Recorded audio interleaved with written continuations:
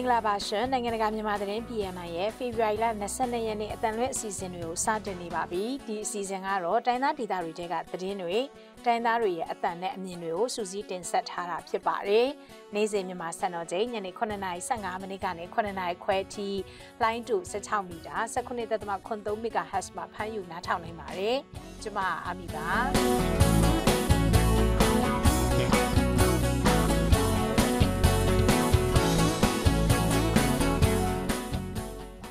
ဒီနေ့သတင်းတွေထဲမှာတော့တင်းနှင်းသားရီမြို့နယ်အတွင်းစစ်ကောင်စီကလက်နက်ကြီးနဲ့ပစ်ခတ်ခဲ့လို့စာတင်ကျောင်းအပါအဝင်နေအိမ်၅လုံးပျက်စီးခဲ့ပါတယ်။ဂရီနီတက်မတော် KA နဲ့ဂရီနီအမျိုးသားများကာကွယ်ရေးတပ်ဖွဲ့ KNDF ပူးပေါင်းတပ်တွေကဖရူဆိုမှာစစ်ကောင်စီရဲ့စစ်ကြောင်းကိုခြုံခိုတိုက်ခိုက်ခဲ့ပါတယ်။ သတင်းလွှာတွေထဲမှာတော့ရခိုင်တပ်တော် AA နဲ့ပတ်သက်တဲ့ဆိုပြီးတော့နှိပ်စက်ထောင်ချခံရပြီးပြန်လွတ်လာတဲ့သူတွေနဲ့ဆက်သွယ်မေးမြန်းသတင်းပေးပို့ချက်တင်းကျပ်တဲ့နိုင်ငံရေးပါတီမှတ်ပုံတင်ဥပဒေအောက်မှာဘဲပါတီတွေကပြည်ထောင်စုအဆင့်မှတ်ပုံတင်ကြမှာလဲဆိုတာနဲ့တာချီလိတ်မဲဆိုင်ဖြတ်ကူးမှုအတွက်ဘာတွေလိုအပ်နေပါသလဲဆိုတာတွေကိုတင်ဆက်ထားပါတယ်အခုတော့သတင်းတွေကိုကျွန်မနဲ့အတူဆိုင်းမွန်းကနေတင်ဆက်သွားမှာပါ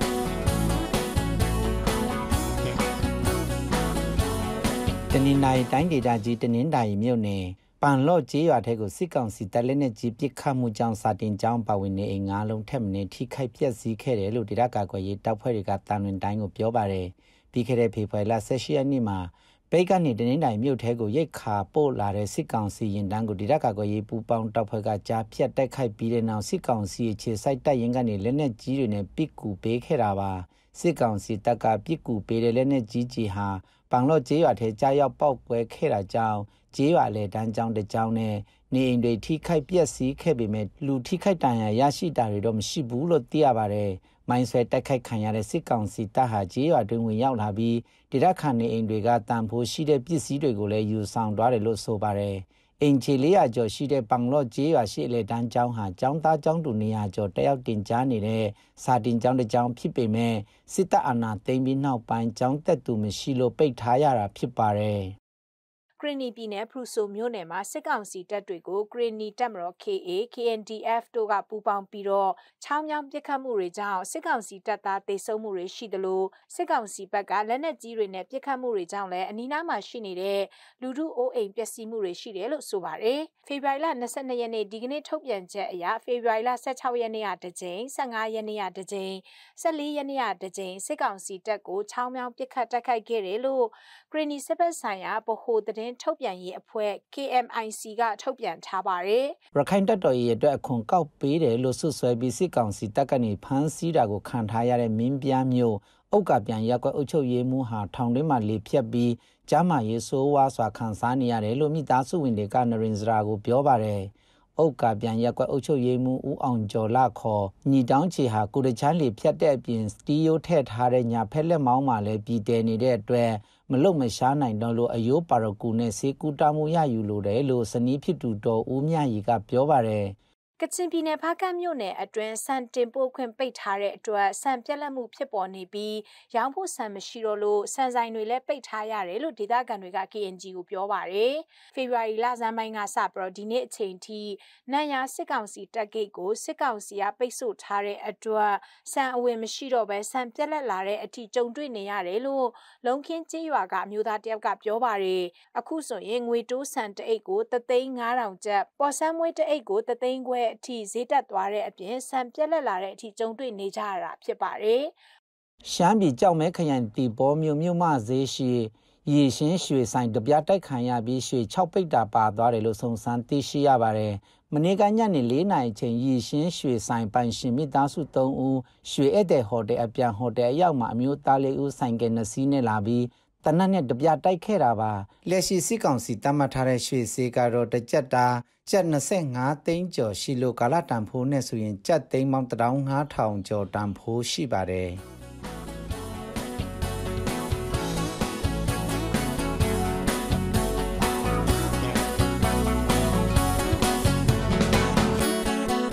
နားဆင်ခဲ့ရတာကတော့ BNI Radio ရဲ့နေ့စဉ်သတင်းအစီအစဉ်ပဲဖြစ်ပါတယ်။ ဒီအစီအစဉ်ကိုတော့နေ့စဉ်မြန်မာစံတော်ချိန်ည9:15မိနစ်ကနေ9နာရီခွဲအထိ15မိနစ်ကြာထုတ်လွှင့်သွားမှာဖြစ်ပါတယ်။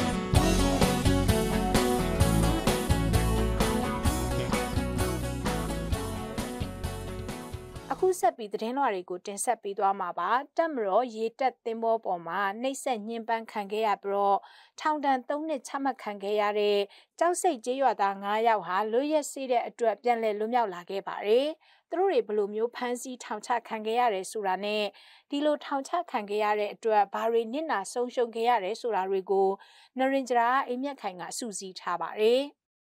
ရခိုင်တပ်တော် AA နဲ့ဆက်ဆက်တဲ့ဆိုတဲ့ဆွစေးချက်နဲ့ရေးတဲ့တင်မောပေါ်မှာနှိမ့်ဆက်ခံခဲ့ရပြီးနောက်ထောင်ဒဏ်၃နှစ်မတရားချမှတ်ခံခဲ့ရတဲ့ရခိုင်ပြည်နယ်ပုံနာကျွန်းမြို့နယ်ကြောက်စိတ်ကြီးရွာကကြီးရွာသား9ဦးဟာလွတ်ရက်စေးမြောက်ပြီးမနေ့ကဖေဖော်ဝါရီလ22ရက်နေ့မနက်9:00နာရီလောက်မှာပြန်လည်လွတ်မြောက်လာပြီဖြစ်ပါတယ်။လွတ်မြောက်လာသူတွေကတော့ကိုညီညီအောင်ကိုမျိုးလိုက်ဦးကိုမောင်ချေကိုမင်းစိုးနဲ့ကိုကျော်ဝင်းဟင်းတို့ဖြစ်ကြပါတယ်။ သူတို့တွေကတော့အသက်22နှစ်ကနေ38နှစ်အတွင်းရှိသူတွေဖြစ်ကြပါတယ်။သူတို့၅ဦးကိုမနေ့ကဖေဖော်ဝါရီလ22ရက်နေ့မနက်9:00နာရီကျော်အချိန်လောက်မှာစစ်တွေအကျဉ်းထောင်ကပြန်လွှတ်ပေးလိုက်တာဖြစ်ပြီးတော့ စစ်တွေမြို့မှရဲစခန်းကိုခေါ်ဆောင်သွားပြီးတဲ့နောက်မနက်10:00နာရီလောက်မှာစစ်တွေမြို့မှရဲစခန်းကနေတဆင့်ပြန်လွှတ်ပေးလိုက်တာဖြစ်ပါတယ်။ပြီးခဲ့တဲ့2020ခုနှစ် NLD အစိုးရလက်ထက်ကသူတို့၅ဦးကိုရခိုင်တပ်တော် AA နဲ့ဆက်ဆက်တဲ့ဆိုတဲ့စစ်တပ်ရဲ့မတရားဆွဆွေးမှုတွေကြောင့်စစ်တွေအကျဉ်းထောင်မှာထောင်နဲ့3နှစ်တိတိချမှတ်ခံခဲ့ရတာဖြစ်ပါတယ်။ ထောင်နဲ့၃နှစ်ရှာမဲ့ခံလိုက်ရတဲ့အတွက်ကြောင့်သူတို့ရဲ့လူမှုစီးပွားဘဝတွေဟာ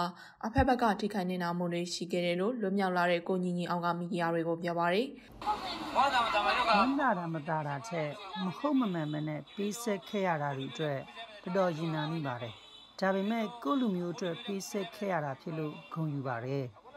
ပြီးခဲ့တဲ့2020ခုနှစ်ဧပြီလ19ရက်နေ့ကသူတို့9ဦးအပါအဝင်ကျောက်စစ်ကြီးရွာကလူပေါင်း38ဦးဟာမြန်မာစစ်တပ်ရဲ့ဆွဆွေးဖမ်းဆီးခြင်းကိုခံခဲ့ရတာဖြစ်ပါတယ်။အဲ့ဒီအထက်က33ဦးကိုပြန်လည်လွှတ်ပေးခဲ့ပေမဲ့လည်းသူတို့9ဦးကိုတော့ပြန်လည်လွှတ်ပေးခြင်းမရှိတဲ့အပြင်မြန်မာရေးတဲ့တင်မောပေါ်မှာအကြီးအကျယ်ညှဉ်းပန်းနှိပ်စက်ခြင်းကိုခံခဲ့ရပြီးတဲ့နောက်သူတို့9ဦးကိုလက်ရှိအာဏာသိမ်းစစ်ကောင်စီတပ်ရဲ့ဗိုလ်ကြီးတင်နိုင်ထွန်းကအကြမ်းဖက်မှုတိုက်ဖျက်ရေးဥပဒေပုံမှ 50ည52ကကြီးစတဲ့ပုံမှန်တွေနဲ့တရလို့ပြုလုပ်ကတရားစွဲဆိုခဲ့တာဖြစ်ပါတယ်။ အဲ့ဒီအမုံကိုစစ်တွေထောင်တွင်းမှနှစ်နှစ်ကျော်ကြာအမှုရင်ဆိုင်ခဲ့ရပြီးနောက်စစ်တွေခရိုင်တရားရုံးကအကြမ်းဖက်မှုတိုက်ဖျက်ရေးဥပဒေပုံမှာ52ကကြီးနဲ့ပြီးခဲ့တဲ့2022ခုနှစ်ဇူလိုင်လ6ရက်နေ့မှာထောင်ထဲ3နှစ်ချမှတ်လိုက်တာဖြစ်ပါတယ်။စစ်ကောင်စီရဲ့ပြည်ထောင်စုရွေးကောက်ပွဲကော်မရှင်ကနေနိုင်ငံရေးပါတီတီထောင်ခွင့်နဲ့မှတ်ပုံတင်လာရောက်လျှောက်ထားခွင့်ကြေညာပြတဲ့နောက်ပိုင်းနိုင်ငံရေးပါတီတချို့ဟာပြည်ထောင်စုအဆင့်မှာမှတ်ပုံတင်ခွင့်ရဖို့ကြိုးပမ်းတာတွေရှိတယ်လို့ဆိုပါတယ်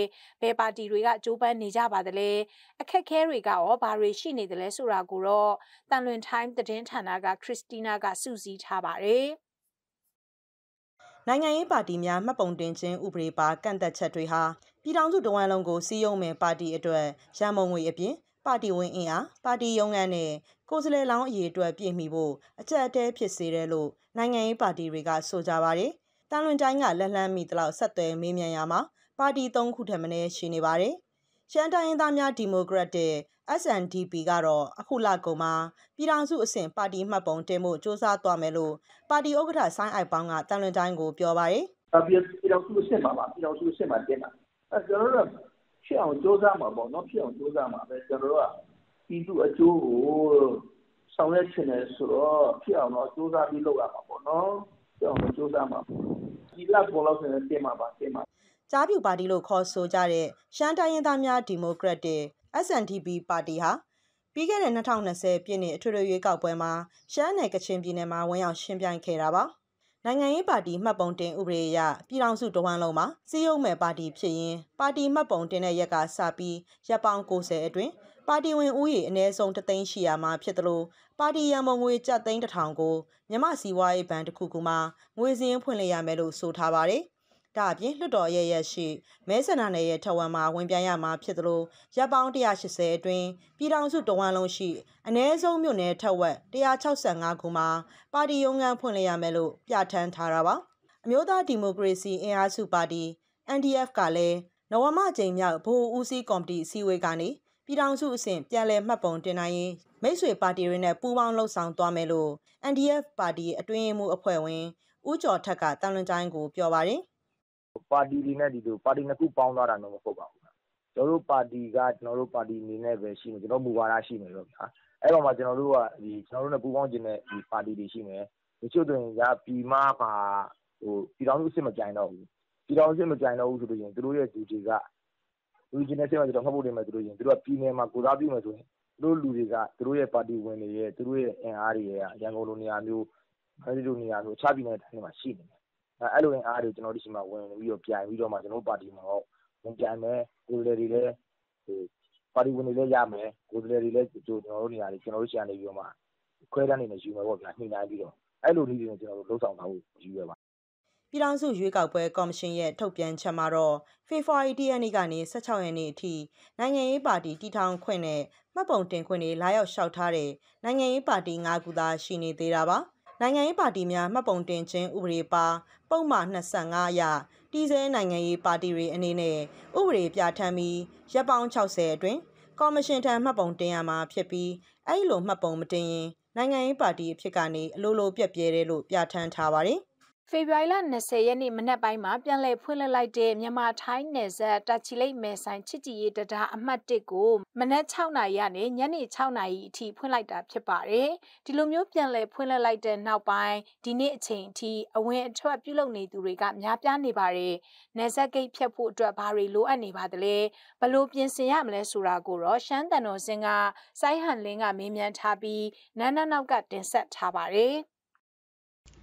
ထိုင်းမြန်မာနယ်စပ်အတွက်အဓိကလမ်းကြောင်းဖြစ်တဲ့တာချီလိတ်မယ်ဆိုင်ချစ်ကြည်ရေးတရားအမှတ်1ကိုဖေဖော်ဝါရီလ20ရက်နေ့မနက်ပိုင်းမှာပြန်လည်ဖွင့်လှစ်ခဲ့ပါတယ်။အဲ့ဒီတာချီလိတ်မယ်ဆိုင်တရားအမှတ်1ကိုမနက်6နာရီကနေညနေ6နာရီအထိဖွင့်လှစ်နေတာဖြစ်ပြီးတော့တရားကိုဖြတ်တန်းတွာလာဖို့အတွက် COVID-19 ကာကွယ်ဆေးထိုးထားတဲ့တက်တေခန့်လက်မှတ်ရှိထားရမယ်လို့သိရပါတယ်။ COVID-19 ရောဂါကူးစက်ပြန့်နှံ့မှုတွေကြောင့်၃နှစ်ဝန်းကျင်ပိတ်ထားရတဲ့ချစ်ကြည်ရေးတရားအမှတ်1ကို ပြန်လည်ဖွင့်လှစ်လာပြီးတဲ့နောက်ပိုင်းလူဦးရေထောင်နဲ့ချီအဝင်အထွက်ပြုလုပ်နေတဲ့အကြောင်းကိုလည်းဒေသခံတွေကပြောပါတယ်။ဒီအကြောင်းနဲ့ပတ်သက်ပြီးတော့အသက်30ဝန်းကျင်တာချီလိတ်ဒေသခံအမျိုးသားတဦးက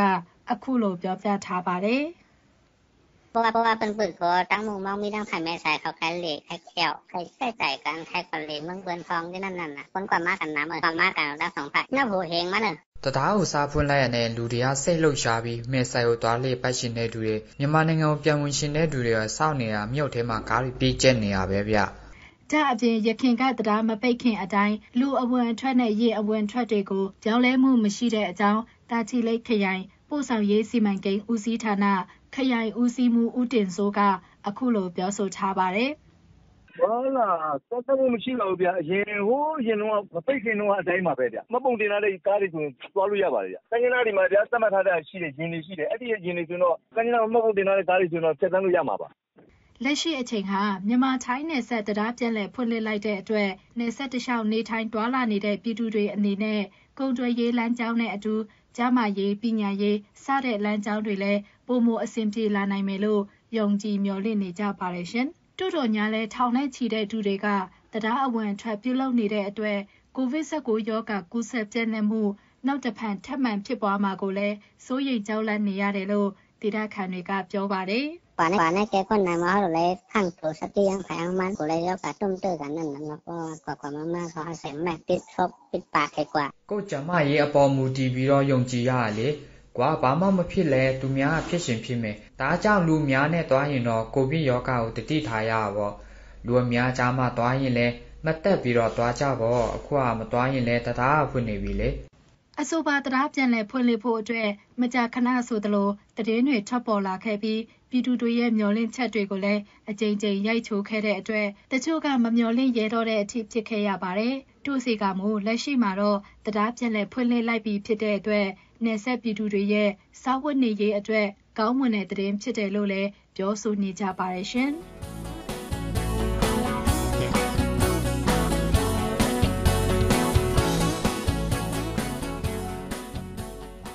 အခုနားဆင်ခဲ့ရတာကတော့ BNI Radio ရဲ့နေ့စဉ်သတင်းအစီအစဉ်ပဲဖြစ်ပါတယ်။ဒီအစီအစဉ်ကိုတော့နေ့စဉ်မြန်မာစံတော်ချိန်ည9:15မိနစ်ကနေ9:00ခွဲအထိ15မိနစ်ကြာထုတ်လွှင့်သွားမှာဖြစ်ပါတယ်။ နားဆင်ပေးကြတဲ့အတွက်ကျေးဇူးတင်ပါတယ်ရှင်။